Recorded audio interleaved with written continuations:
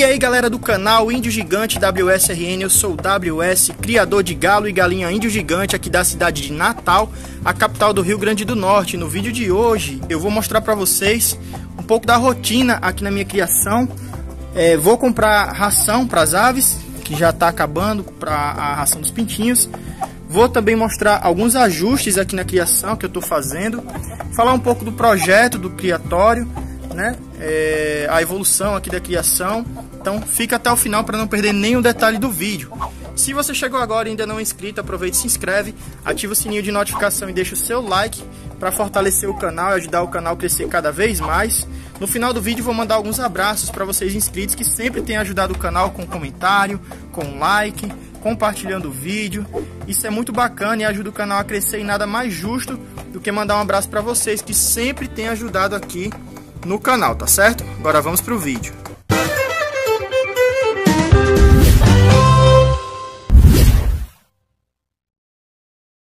Pessoal, tô indo agora comprar ração, tá certo? Comprar ração aí pros pintinhos, porque tem alguns que ainda vai nascer e não tem mais a ração pré-inicial, né? Que é para pintinho recém-nascido, que aqui na minha região chama ração medicada. Então, tô, então eu tô indo comprar antes que os pintinhos nasçam e aconteça algum imprevisto, não tem lá na, no fornecedor. Então eu tô indo lá buscar agora. Quando eu chegar, eu vou mostrar alguns, alguns ajustes que eu fiz aqui na criação para vocês poderem ver. É, algo, são coisas muito importantes, são alguns detalhes para poder concluir todo o projeto que eu tô montando aqui na criação de Indigante WSRN que tá ficando top. Então assista o vídeo até o final para não perder nenhum detalhe detalhe. Olha como é que tá o céu.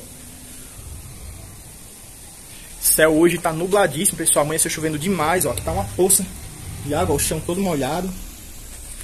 Choveu muito, mas é, tem coisa bacana para vocês verem aí no vídeo. Vão acompanhando até o final para não perder nenhum detalhe, beleza? Já ajustei a mala do carro. Essa, esse carro é bom porque a mala, tipo assim, se você quiser remover a mala, você tem como remover. Deixa só o carro. E aí quando você precisar pegar alguma coisa na mala, você coloca a mala de volta. Ó. É bem legal, bem uma mala portátil aí. Vou acompanhando. Pessoal, se liga aí nesse, nessa lonazinha aqui, ó. Bem frágil. É, eu tinha comprado pra, pra utilizar a proteção das galinhas contra o frio. Foi a primeira lona que eu comprei, né? Então, só, eu só vi que realmente esse material não ia dar certo depois que eu já tinha comprado. Então ficou por aqui um bom tempo. E agora eu vou... Aí eu tô usando às vezes um pedaço aqui, outro acolá, e agora eu vou usar para cobrir a ração, né? Porque como tá período chuvoso, então não posso ser surpreendido pela chuva aí no caminho. Então vou tirar aqui um pedaço, já trouxe até a tesoura. Vou tirar aqui um pedaço, aqui tá uma bagunça, pessoal, aqui porque tá em, tá em construção ainda, né? Então tá tendo aí uma construção na casa que eu vou vir morar. Por isso que eu ainda não vim. É, o pessoal aí às vezes pergunta, né, WS, já era pra você ter feito isso, fazer, ter feito aquilo. A tesoura tá cega. É, já era pra você ter feito isso, ter feito aquilo. Eu comecei depois de você, já tô mais adiantado. Já era pra ter colocado tal coisa, tal coisa, pessoal. Tudo tem que ser feito de forma organizada. Não fiz antes porque não deu para fazer antes. Aqui está em reforma.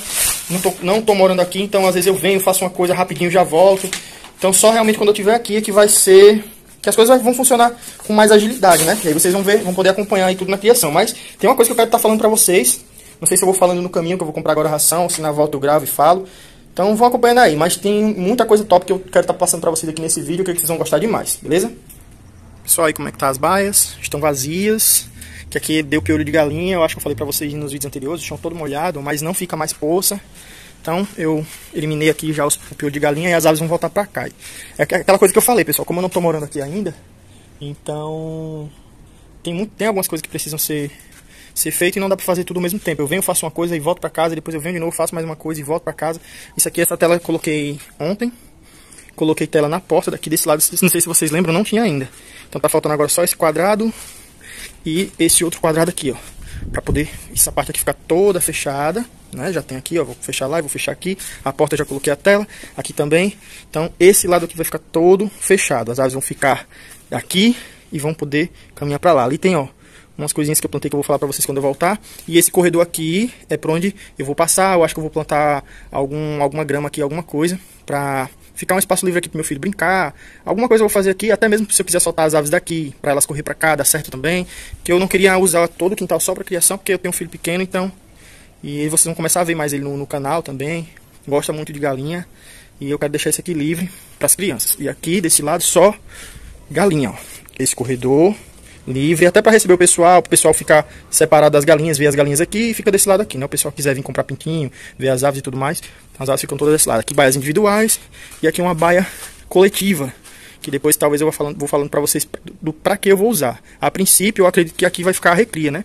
Que é um espaço maior, mais aberto, então acho que vai ficar a recria, mas não impede de fazer uma baia coletiva aqui que eu estou ainda pensando o que, é que eu vou fazer. Beleza? Olha, mesmo com toda a chuva aqui, ó, aqui continua seco.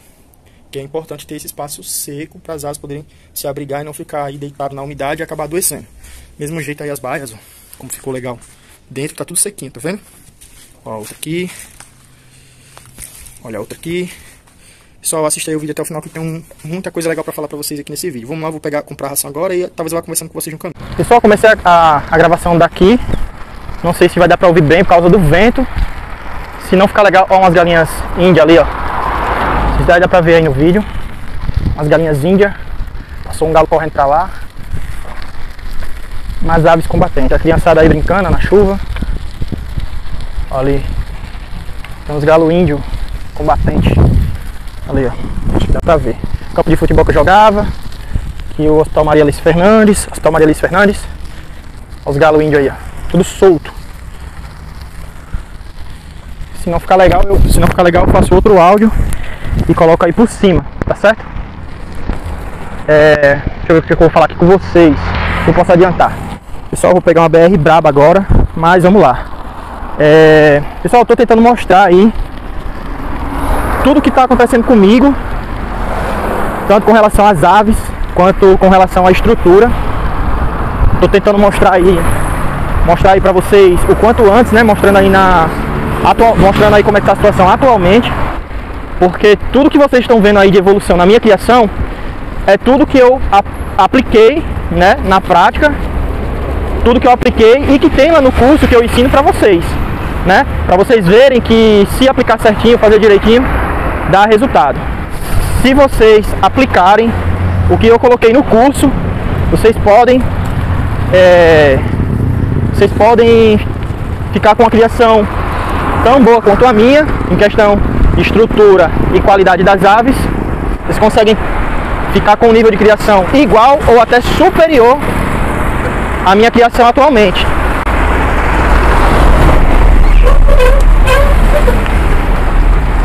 Basta, pessoal, vocês aplicarem o que eu ensino para vocês no curso. Outra coisa, pessoal, nós temos uma sala VIP para os alunos do curso, onde lá vocês vão poder tirar dúvidas sobre alguma aula que vocês porventura possa ter alguma alguma dúvida ou não ter entendido bem. Então, vou estar tá lá para dar o suporte para vocês, e isso é muito importante. Eu já estou planejando também criar alguns desafios lá na, na sala, na sala VIP com os alunos, para estimularem vocês a alcançarem metas, tá bom? Isso também é muito bacana. Estimula você a tomar a decisão e eu vou estar tá lá para fazer isso com vocês, para ajudar vocês a desenvolverem suas criações, sua criação de gigante. Outra coisa, pessoal, olha o supermercado aí que eu faço, eu faço a feira de casa, ó. Estamos chegando já, pessoal. Se não der tempo de falar tudo aqui no caminho, eu falo na volta, certo? Ali, ó, asfixias para quem quer comprar coisa de material de construção.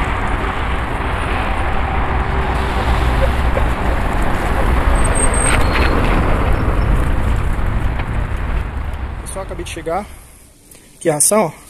Essa a lona aqui para saber se ia chover ou não. A ração, comprei 20 kg de ração. Essa aqui é da marca da Irka. É, ração que aqui a gente chama medicada, é para pintinhos. Comprei também aqui uma balancinha de precisão. Na hora de formular a ração é bom ter. Ó. É bom ter para fazer a pesagem bem equilibrada da, dos alimentos. Comprei aqui, ó. É, esse aqui é antitóxico. Tá vendo? Eu uso esses antitóxicos para para dar para as aves após um tratamento, né? Principalmente com antibiótico que agride um pouco o organismo do animal. Então, depois o, o, tratamento é bom sempre dar um antitóxico, beleza? Tudo isso, a forma de como usar, a forma de ração, é, prevenção das doenças, como tratar as principais doenças que acontecem na, na criação de indigante, a forma de usar antitóxico, tudo isso eu explico lá no curso Criação de Indigante Sem Erro, beleza? Agora eu vou estar tá mostrando mais algumas coisas aqui para vocês na criação e bater um papo legal, que eu sei que vocês gostam e tem muita coisa importante para falar, beleza? Pessoal, olha isso aqui que eu queria mostrar para vocês. Ó. Plantei aqui um talo, como ele já está verdinho, eu acho que pegou. Ó, tá verdinho. Acho que pegou. Falta só sair as folhinhas. Aí plantei um aqui, plantei outro aqui, ó. Outro talo. Ganhei do meu parceiro, Talisson. Pensa num cabo bom, Thales. Ó, aqui outro. Aqui outro. Aí aqui até, ó. Todos, todos já pegaram. Porque aqui, ó, já começou a sair as folhinhas. Era só o estalo, pessoal. Saiu as folhinhas. Aqui tá saindo, ó. As folhinhas também nesse segundo. Aqui no terceiro. Tinha saído umas folhinhas aqui, ó. Só, tinha até mais. Aí o, o galo alcançou. Você vê, ó a altura. O galo foi nem, não nem, nem esforço. As galinhas brigando. Tá verdinho, tá vendo o talo? E aqui tem outro. Aqui vou mostrar agora galinha pra, as galinhas pra vocês. Que, que eu tava organizando pra gravar o vídeo pra vocês, pessoal. Tô ajustando aqui agora. Vamos ver como é que tá aqui as aves. Botei o boquinho aqui pra ficar melhor de filmar. Ó, essa galinha aqui, pessoal. Ó a pena dela como é, ó. Desenho de mil flores, tá vendo? O meio preto, a pontinha branca. Só a base dela que é cinza, então não é considerado mil flores. Olha como ela chegou feinha. Olha como tá as costas dela, pessoal. Mas já começou a nascer as penas, vai ficar bem bonita. Eu tô tratando, vou tratar dela direitinho. Aqui tá o Cadu, ali tá a Pete, ali tá a Bama. A Bama eu trouxe pra cá. Olha como a plumagem da Bama ficou bonita depois da muda. Ela sempre teve a pena toda falhada, toda feinha. Aí quando ela entrou na muda, cuidei dela direitinho, tá bem bonita. Deixa eu ver aqui. O ninho tá bem sequinho, ó. Tá vendo? Tá aí o ninho. Mesmo aqui também molhado, o ninho tá protegido. Então as galinhas se sentem confortáveis pra, pra botar. Tem essa outra parte também. Eu ainda vou fazer alguns ajustes que não vai dar tempo de fazer hoje. Como eu falei pra vocês. Ó, aqui quem tá a filha da, da Milk, ó. Ela é grande, pessoal. Ela é grande. Eu acho que ela já tá acima de 95 centímetros já. Ela tinha 95, né? Quando eu fui lá. Agora acho que ela tá mais. Ó a, a, a polaca, que linda, pessoal. Barbela única, destacada, bico amarelinho, rabo reto, asa encaixada. Uma plumagem muito bonita. E depois vocês vão ver aí o que, que eu vou estar tá fazendo. Qual o projeto que eu tenho pra essa, pra essa galinha. Aqui tá a Dora. Que a Dora tá aí? Deixa eu ver. Só botar ela aqui pra andar. Tá só deitada mesmo que as galinhas dormem aqui, pessoal, então tem que fazer sempre uma limpeza mais constante. Já já vou vir limpar. Aqui as animais aí. Que bacana. Aqui não tá mais a Miyuki, já tirei a Miyuki. Já tirei a galinha novata, aquela bem marcada. Depois eu vou colocar o nome, dela, o nome nela, vocês acharam ela bem bonita. E não tá a Miyuki, não tá a, a barbeluda amarela, não tá a novata Mil Flores que chegou por último, que vocês gostaram muito. E não tá uma outra Mil Flores também, bem marcada. Ela parece muito com a Bama que ela foi a penúltima galinha que chegou. Também não está aqui. As quatro estão separadas, que eu vou fazer um trabalho com elas também diferenciado, vocês vão acompanhando. Elas vão para baias individuais e essas aqui vão para as baias individuais quando é, já estava fazendo o tratamento lá da é, a limpeza, né, desinfecção, tirando os piolhos de galinha. Já apliquei o remédio lá, então daqui a mais uns dois dias eu vou estar tá colocando elas lá. Beleza, pessoal? Agora vamos bater um papo. Pessoal, resumindo o que eu estava conversando com vocês quando eu estava indo comprar a ração, tá bom? É, a criação aqui agora tá, tá bem diferente, né, do que vocês viram anteriormente. É, dá para criar índio gigante em pouco espaço? Dá, pessoal. Eu criei desde sempre, até poucos meses atrás, naquele espacinho pequeno de 4 por 5 que eu mostrei para vocês. Só que quando você tem limitação no, no, no seu espaço, no, da criação de indigante, você também fica limitado a algumas coisas a mais. Então aqui na minha criação, o pessoal sempre pedia é, pintinhos, pedia ovos, e, a, e, o espaço que eu tinha não dava para comportar mais aves além do que eu já tinha, para poder ter uma produção maior, para poder atender mais clientes. Então muitos clientes ficavam sem pintinhos, né? E ovos não dava para estar tá disponibilizando, porque como eu tinha poucas aves, não dava para juntar no tempo hábil, para vocês receberem os ovos com uma qualidade boa, né? Os ovos bem novos, então não dava para atender aí essa demanda. Então dá para criar, dá, mas tem algumas limitações. Se o seu espaço é limitado, você vai ter algumas limitações para algo a mais que você, quer, que você quer implementar na sua criação. Por exemplo, aquela plaquinha que está ali, ó. Agora dá para me ter ela aqui na criação, porque agora eu tenho um espaço, não é tão grande, mas é um pouco maior do que já era. Então agora dá para me criar uma polaquinha, dá para me criar uma outra raça, né? É, porque na questão de organização eu já sei como fazer, né? Então dessa vez dá para estar tá implementando isso aí. O espaço que eu tinha não dava. É, outra coisa, eu não tinha como fazer uma recria para mim, para ir poder desenvolvendo, né? O, fazendo uma seleção e fazendo novos, novos cruzamentos com aves que eu mesmo produzia. O espaço não dava para fazer a recria, então tinha que vender todos os pintinhos. E aí o que, que aconteceu? Na hora de, de fazer esse, o próximo passo do cruzamento, eu tive que resgatar as aves. E aí, tive que resgatar aves que saíram daqui, por exemplo, a Dora saiu daqui, essa galinha que saiu daqui é filha da Miyuki, a Pete saiu daqui, todas elas, todas três quando pintinhas, aquela ali saiu daqui quando pintinha também, é filha da Miyuki, aquela lá, a Bama, ela foi vendida, é, na verdade, ela foi um, um, cliente que ganhou ovos numa rifa que a gente tinha feito, né? Foi o Bruno, lá de, de, de lá de Mossoró. Ele ganhou a dúzia de ovos, nasceu lá e acabou vindo pra cá. Veio ela e outra, mas a outra é, eu acabei vendendo. Então, assim, aves que. Ó, esse daqui também não saiu daqui, mas é filho do Caleb, né? Saiu lá do Walter. Quando a gente tinha, tinha parceria. Então tive que resgatar. Então tive que resgatar minha genética. E agora os próximos passos eu tenho como fazer, porque agora eu tenho onde colocar as aves, tenho como ter mais aves para atender a demanda de pintinhos e agora até ovos, né? Já estou disponibilizando algumas dúzias para o pessoal que que tá ajudando lá na rifa do canal. Então, quem é sorteado lá na rifa pode ganhar duas dúzias de ovos aqui da criação, ou mil reais, ou uma chocadeira de 70 ovos da Prêmio Ecológico. É, o pessoal que acumula vários números lá também é, pode, é, acaba ganhando né, uma, uma dúzia de ovos aqui da criação. Se a pessoa acumular 50 números lá, juntando todas as edições que a pessoa participou sem ter sido sorteado, automaticamente a pessoa ganha aqui a dúzia de ovos da, da criação. Então, agora já tenho como atender, já teve uma primeira dúzia que já foi enviada. É, o rapaz já está para receber. Vou mostrar também aqui o resultado na, no, nos vídeos. Então é isso, pessoal. É, tudo isso está acontecendo porque eu estou aplicando aquilo que eu coloquei lá no curso e eu estou disponibilizando para vocês que querem aprender, querem evoluir sua criação para ter uma criação boa como a minha ou até melhor, né?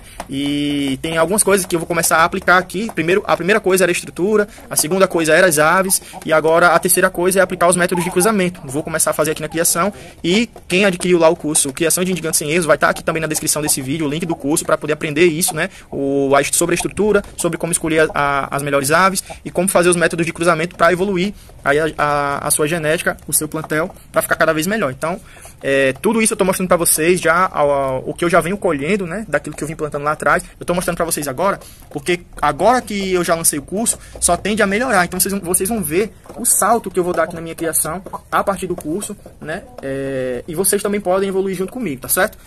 Espero que vocês tenham gostado do vídeo, espero que vocês tenham gostado aí também da evolução da minha criação. O que, é que vocês estão achando? Coloca aí nos comentários, tá certo, pessoal? É, se vocês, vocês que são mais antigos, ó como a, a filha da Milk é grandona ali, ó. Ela perto da polaca, totalmente diferente. Depois eu acho que vou até fazer uma, uma, medida, uma medida oficial dela. Coloca aí nos comentários o que, você está achando aí da criação, se vocês lembram como era antes, como é que vocês estão vendo agora, o que, vocês estão achando legal desse novo formato da criação de Indigante WSRN. Se vocês vão aplicar isso aí também na criação de vocês, tá certo? É, o curso já tá, já tá aí, já tem alguns alunos chegando, a gente vai formar a turma. Aproveita, adquire o curso porque as vagas são limitadas, então você não pode ficar fora dessa. É, vem fazer parte da primeira turma, pra, porque vocês são é, a galera que vai vir depois, vão ver a evolução de vocês, vão se espelhar em vocês, certo? E vai dar super certo, tá bom? Pessoal, quero mandar também aqui alguns abraços para vocês inscritos que sempre têm ajudado aqui o canal, é muito importante a ajuda de vocês e eu fico muito feliz com a participação de vocês. Vocês que comentam, vocês que compartilham o vídeo, deixa like, isso é muito bacana. Quero mandar um abraço pro Thiago Felipe, para o canal Criatório FG. Quero mandar também um abraço pro Severiano Amarante, Pedro Celso e Ednelson Brandão. Se eu não falei o seu nome nesse vídeo, continua comentando aí nos vídeos que no próximo vídeo eu posso estar mandando um abraço para vocês também, tá bom? Esse foi mais um vídeo aqui do canal Indigante WSRN, o índio gigante aqui da cidade de Natal, a capital do Rio Grande do Norte. Que Deus abençoe cada um de vocês que assistiram até aqui e até o próximo vídeo. Não esquece de se inscrever no canal e deixar o seu like nesse vídeo, porque dessa forma o YouTube entende que você gostou desse vídeo, desse tipo de conteúdo, e aí sempre que eu colocar um vídeo novo no canal, o YouTube vai te notificar, vai enviar os vídeos para você, e aí você não vai perder mais nenhum vídeo aqui no canal Índio Gigante WSRN, tá bom? Valeu, um abraço e até o próximo vídeo.